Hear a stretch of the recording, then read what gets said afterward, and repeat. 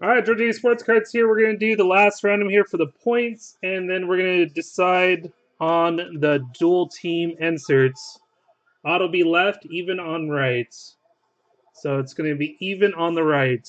We rolled an 8, goes to all the players on the right. 8 times on the points. Team on top gets 250. 1, 2, 3, 4, 5, 6, 7. Last one, team on top. Ravens get the points card. 250 points. That was a break, guys. Appreciate it again.